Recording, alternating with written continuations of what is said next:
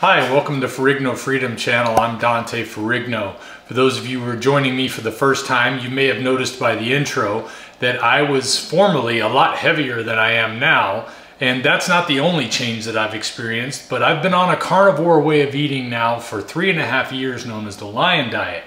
And one of the questions I often get asked or I see asked in different communities on Facebook and other places that talk about carnivore eating is, as a Christian, or as a Jewish person, or even as a Muslim, what about eating blood? Is there a problem with eating what is on my steak when I take it out?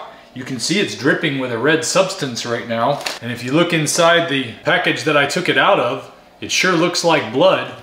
So what's the deal? Is this something that we're allowed to do? Should we be eating our meat rare and medium rare? These are questions that I see people asking. So I thought I'd like to come today and address that as a fellow carnivore and a fellow Christian to many of you out there, or just somebody who understands that those who have faith and want to follow their faith have these concerns. And since Christians, Muslims, and Jews make up roughly 6 billion of this world's population, I'd say the question is kind of relevant. So let's take a look at it.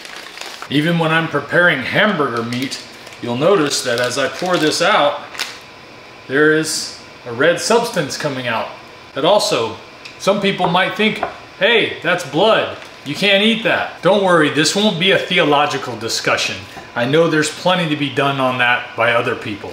And this is something I think that each person has to address on their own. And when it comes to matters of theology, I think it's something that each person has to address on their own between themselves and the Lord. And since the Bible specifically prohibits eating blood in both the Old Testament and the New Testament in Genesis, Leviticus, Deuteronomy, Acts, there are several different places in the Bible where we're told not to eat blood. The Quran also prohibits the eating of blood. Well, one of the great things about this concern is, is it's not one of those matters of theology we have to worry about getting into arguments over because it's not really a matter of theology in this case.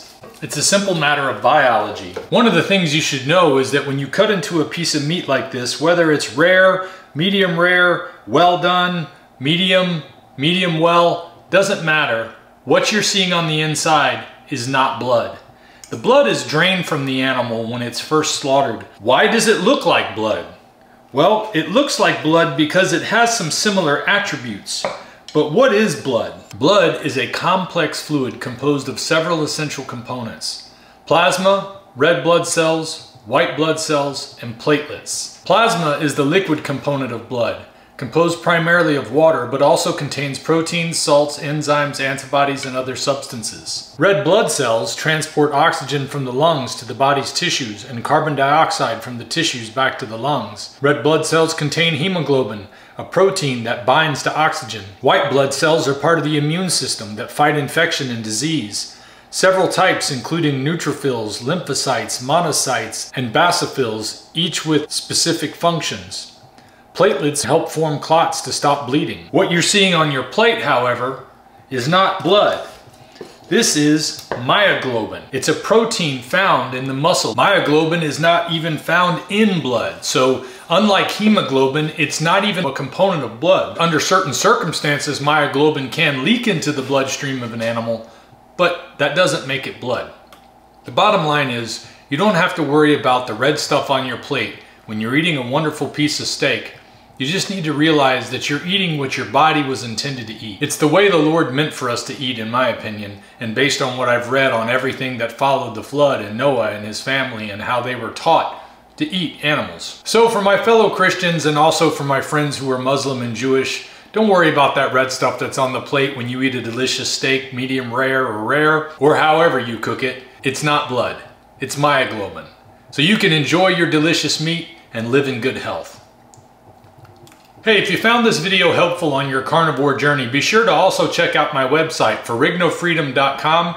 I've got links on there for all the products that I use, from the air fryers that I've tried and enjoy, to the salt that I use to season my meat, and everything in between. I also have options for you to tell me your carnivore story, so that we can get together on a carnivore conversation right here on my channel and share your story with the world. If you've had a remarkable transformation of some kind because of a carnivore way of eating, I want to hear from you. There are people in this audience who want to hear from you because they may be experiencing right now the same problems you experienced when you started your carnivore way of eating.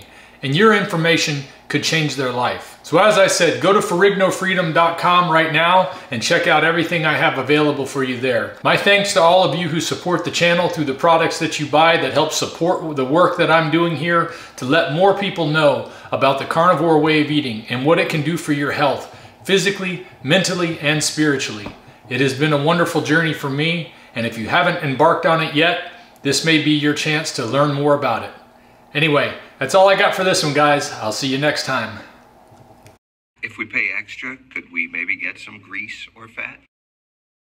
The carnivore bar compared to movie theater snack prices, it's no competition.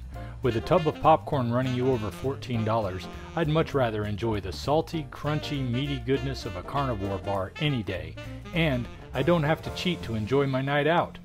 Carnivore Bar. Save 10 to 20% when you use my link in the description of this video.